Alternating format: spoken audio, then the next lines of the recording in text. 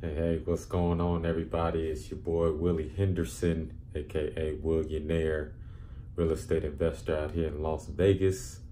Want to shoot this quick video to let you know what a wholesale deal is and by the numbers what it looks like. Who am I? I'm Willie Henderson, like I said, based in Las Vegas, Nevada. I'm a real estate investor, primarily wholesaler and uh, just wanted to share some of the knowledge I have in, in regards to that space. Uh, I've been doing this for about four years here in the Las Vegas area.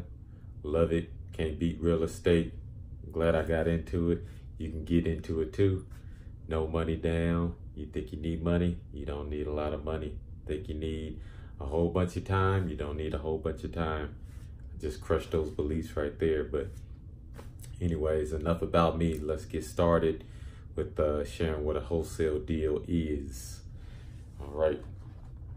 So what I made here, a little picture here called wholesale deal by the numbers. The numbers don't work. It's not a deal. The numbers have to work in order for it to be a good deal. Once you've been doing this for a while, getting your feet wet in the game, you'll start becoming more familiar with what numbers work what numbers don't work.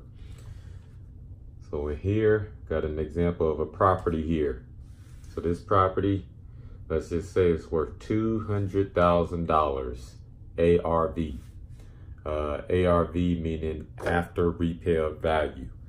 So that uh, is indicative of what properties sold right now uh, within the past uh, three, six months uh, to the current time with a property similar to that uh, property of interest that you have um, in regards to that what what did they actually sell for? Not what the owner wants to list it at not what the agent wants to list it at. What is it selling for actually right now? So we got that ARV which is after repair value then for it to be a good wholesale deal, good starting point is to be 70% of what that ARV is. And this is for your end buyer. Uh, so your end buyer can actually make a profit.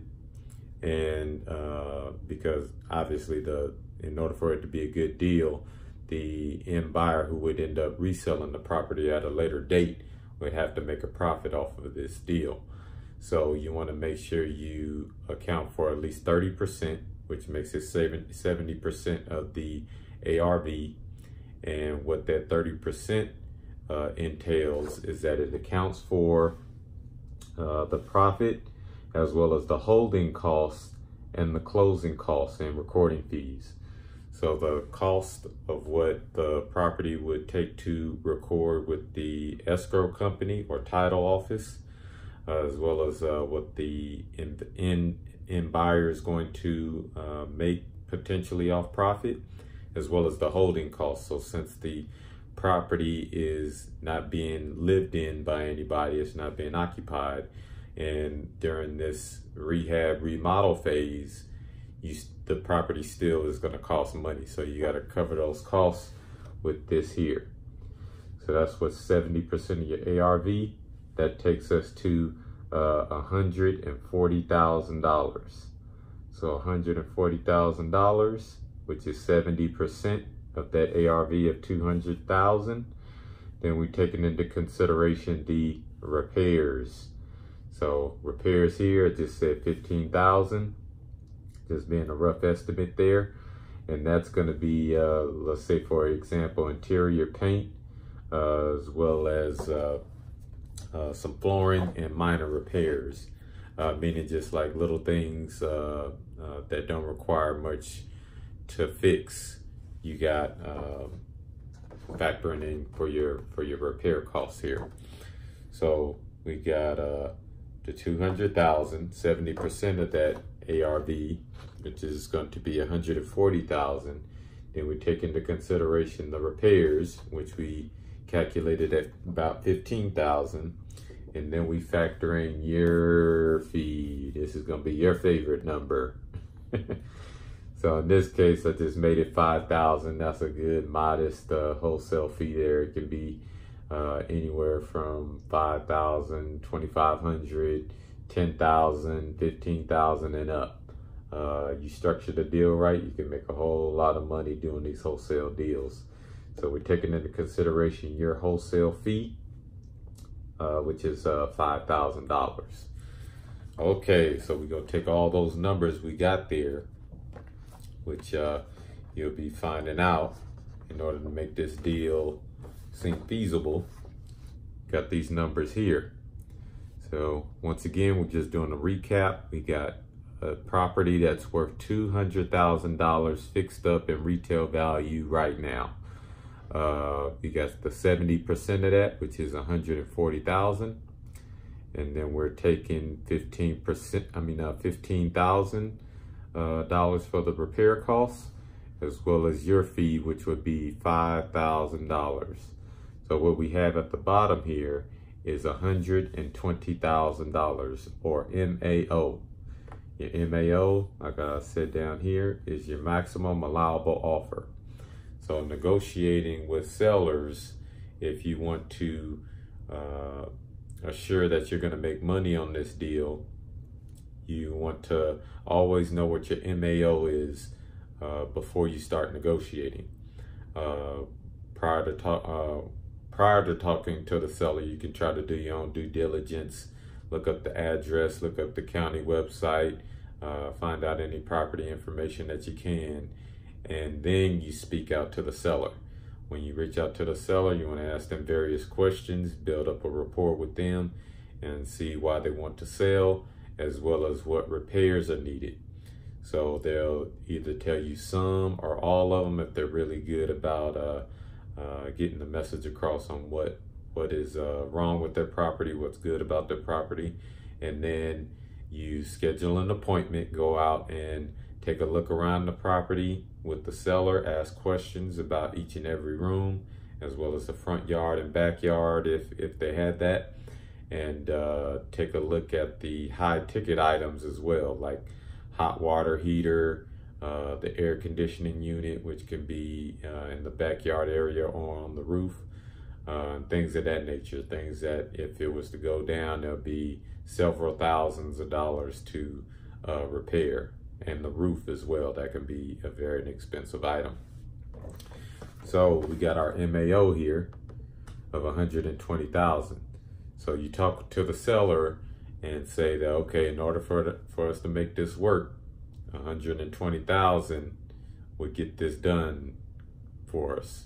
And you also explain to them, okay, we're taking into consideration the repairs, we're going to be covering your closing costs, etc., etc. Uh, try to make uh, as good as impression as you can with the seller, and then more than likely they will take your offer, all cash offer, I might add, uh, which is very appealing to uh, these motivated sellers. So make sure that it's an all cash offer. You did your numbers, you did your due diligence, you did your homework. Now we can proceed to the actual process here. So you want to get that property under contract with that seller. And then once you get that property under contract with the seller, you now control the property. You control the property having this piece of paper right here, which is the purchase and sale agreement. So you did your numbers, came in with your MAO, the seller agrees to this offer that you made here, all cash. Now you got an executed contract. This is the first big step in this real estate wholesale deal right here. So after you get this executed contract signed right here, then you want to uh, get this assignment form which I also have for available for a download, my own personal uh, assignment form as well as the contracts that I use. Uh, but with this assignment form, this is what's going to actually uh, get you paid from the end buyer. So this assignment form you will sign and then you will get your end buyer to sign as well if they're interested in purchasing or you're able to flip this contract over to them for that fee. Um, so with the assignment form, you as a wholesaler will sign, as well as the end buyer will also sign a mutual agreement that uh, you're relinquishing your rights to this contract to that end buyer, and the buyer is accepting all responsibility. Uh, also, before this assignment contract is is uh, completed, the end buyer may want to see more information, more pictures, and any other details about that property before they make that decision to take over that assignment form. So you want to make sure that while at the property, uh, before you get that executed contract signed, you want to make sure you take plenty of pictures, take plenty of video, and take down any notes that you can around the property, uh, things that you might might feel that are important for the, your end buyer to know so they can have a good calculated estimate on making sure your numbers are right and then making a good purchase. So once you get that assignment form signed by you and the end buyer here, this is my end buyer man right here. so you get that executed contract signed, then you get that uh, assignment form signed by you and your end buyer, and then that paperwork is then taken to the escrow office or title company. So this is where the magic happens. This is where the uh, transaction all takes place. This is where the uh, end buyer would need to close successfully in the amount of days that you and the uh, seller agreed to on the purchase and sale agreement. And once this deal is closed, then you get that fee. You either get it wired uh, electronically to your uh, bank account, which uh, some investors do. And uh, me personally, I like going and picking up the check. There's nothing more special than going to the title company knowing that you got a nice fat check waiting on you. So uh, yeah, doing several deals, you'll become uh, very, uh, very, very happy to go on that drive to that title office and, and pick up that check. Or if you're a virtual investor, you like to do things out of state, then uh, obviously your check would get mailed or wired to you. Okay, so that in a nutshell is how you do a wholesale deal, how the whole process goes. My name is Willie Henderson aka Willionaire, aka Will Estate. Always looking to broaden our horizons and uh, teach people about real estate investing. You got any questions, go ahead and feel free to reach out. Okay, you guys take care.